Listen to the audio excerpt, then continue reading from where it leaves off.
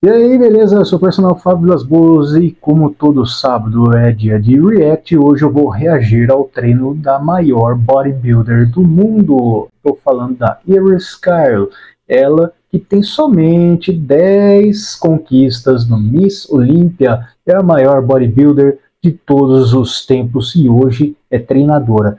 Vou mostrar um vídeo antigo de treino na época do auge dela, um treino de glúteo vai ser bem legal de acompanhar, vou fazer vários comentários em cima. Então, se você quer aprender mais sobre musculação e treinamento em geral, segue no vídeo até o final, porque eu tenho certeza que aqui você aprende muito. Mas antes, já garante aquele like, verifique as inscrições, clica no sininho para ativar as notificações. E se você deseja levar seu treino para um novo patamar, venha conhecer o meu trabalho de consultoria fitness online. O QR Code está aí no canto da tela para você escanear e o número do meu WhatsApp está aí para você copiar e me mandar uma mensagem que eu te explico cada detalhe sobre todos os planos que eu ofereço, beleza? Então vamos ao que interessa. E tá aqui, ó, para começo no vídeo eu abri o bom e velho GPT, quer dizer, não tão velho assim, né? O, GP, o chat GPT não é tão velho assim, mas só para resolver a dúvida que era minha também, eu coloquei quais foram os anos em que a Iris venceu no Miss Olímpia.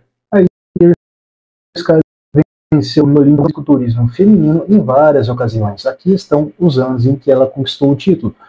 2004, 2006, 7, 8, 9, 10, 11, 12, 13 e 14. Só não ganhou em 2005, né?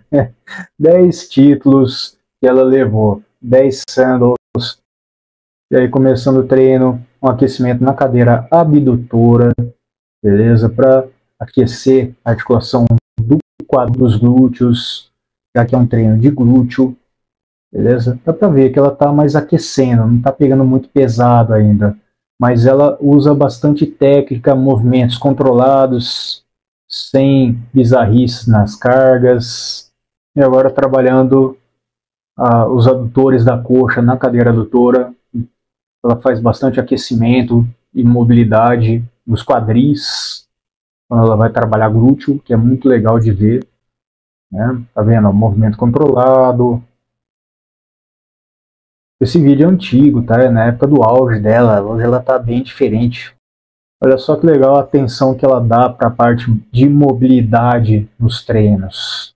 Tá vendo? Mobilidade de quadril, quadríceps, Tá vendo? Muito importante para você que vai treinar pesado, cuida das suas articulações, dá aquela liberada, isso melhora em muita segurança e o bom rendimento nos seus treinos.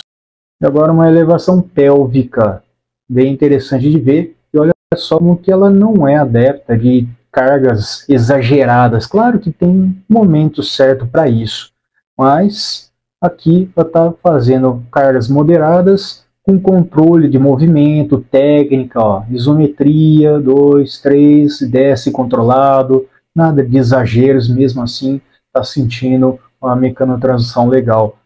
E a elevação pélvica é um ótimo exercício para você recrutar o glúteo máximo, que é a porção maior que faz a extensão da coxa no final. Legal? É um exercício que trabalha mais na origem do músculo, no, no quadril bem interessante de ver. Para você que ficou na dúvida, acompanhe a minha série de anatomia aí para você entender melhor o funcionamento de cada músculo. Legal? E agora um agachamento sumô. É bem interessante de ver, ó, já está com faixa no joelho para proteger as, articulações nessa hora. Provavelmente ela devia estar tá em reta final de competição, de preparação. Então todo cuidado é pouco, é, toda proteção, faixa de joelho. Esse exercício é bem interessante que permite que você coloque mais sobrecarga sem cansar os braços, poupando os braços, porque é comum de ver, por exemplo, vou até pausar aqui, às vezes você sente que consegue botar mais carga, mas suas mãos, seus braços não suportam aquela carga. Então, o que é interessante de fazer? Coloca um cinturão no seu quadril e aí você consegue ter uma boa sobrecarga, uma boa intensidade no seu treino. Agora olha só que legal esse agachamento. É um agachamento livre, só que repara que a barra tem esse apoio na frente. Isso aí ajuda você a ter mais amplitude sem sobrecarregar tanto a sua lombar. Muito interessante de ver. Onde eu trabalhava antes tinha uma barra dessa, só que aí tiraram de circulação, infelizmente, porque a barra não cabia dentro da gaiola de agachamento. Então ela estava machucando a pintura do aparelho, né? Mas é uma experiência bem legal. Então, se você não tiver uma barra dessa na sua academia, usa o peso à frente mesmo. Muito legal esse agachamento rápido, é o estilo pendular. E o que, que acontece? Ele aumenta e muito a flexão, consequentemente maior torque, maior braço de alavanca sobre os glúteos também. Quadríceps, claro, sempre motor primário, mas tem uma ação ótima sobre glúteos. E ele é mais seguro do que o Hack 45 por causa do lance da trava e tudo mais. Né? É uma trava que, se você não tiver muito atento, muito atenta, pode cair o aparelho e causar um acidente. Mas esse é um modelo mais seguro.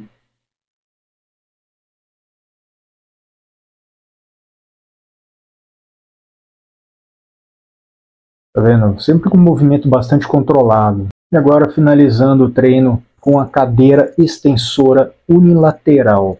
E essa máquina tem uma tecnologia interessante de permitir o movimento individualizado, é legal para você desenvolver simetria nas pernas. Tem máquina que é mais comum de, de ver nas nossas academias, que é aquela máquina com um, uma travessa só, mas que você faz unilateral. Essa não, tem a opção de você fazer unilateral ou fazer simultâneo, mas mesmo assim trabalhando com cada pé individualizado.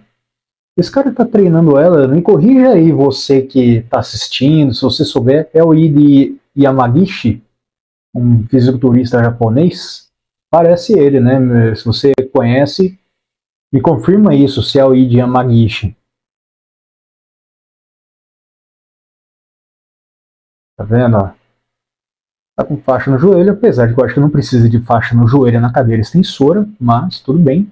Se ela se sente melhor equiparada, melhor estabilizada, mais segura, não tem problema nenhum, tá? Muito legal de ver.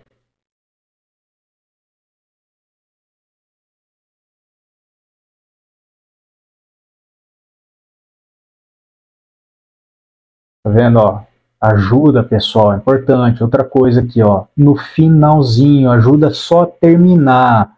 Nada de ficar é, botando força desde o início, tá? Quanto menos ajuda, melhor. E tá aí, essa é a Iris Kyle, a mulher Hulk da vida real, a maior bodybuilder do mundo. Ela que tem somente, somente 10 títulos no Miss Olímpia. E, curiosidade, ela vai treinar a nossa grande Alcione Pro. Saiu a notícia que eu vi agora há pouco no Instagram da Alcione, e aliás, tá, tá aí uma boa sugestão para eu reagir. Vou procurar algum material da Alcione para trazer mais mulheres para o canal também, trazer um pouco mais de conteúdo sobre treino feminino, para incentivar mulheres a praticar musculação, beleza? Independente se gosta ou não de bodybuilding, mas Estamos falando de musculação e é legal trazer esses conteúdos porque muita gente acha que esse povo é tudo brucutu, que treina sem noção. Não. Você acabou de ver um treino de qualidade, com muita técnica, muito foco, muito bacana de ver, muito gostoso de reagir. Então, se você gostou do vídeo, já peço, deixa aquele like, se inscreve no canal, ativa o sininho das notificações, comenta o que você achou, participa mais do canal, beleza? Tá? Tem pouca participação, participa mais, gente e compartilha isso com seus amigos aí, legal? E se você deseja levar seus resultados para um novo patamar, venha conhecer o meu trabalho de consultoria fitness online, onde eu te ajudo a botar o shape que você sempre sonhou. Para entrar em contato comigo, é só apontar a câmera para o QR Code no canto da tela ou mandar mensagem no WhatsApp, copia e manda mensagem que eu te mostro todos os meus planos na minha consultoria fitness, tudo para te ajudar a botar o shape nesse ano. Valeu? Obrigado por assistir o vídeo, fica com Deus, um forte abraço e até mais.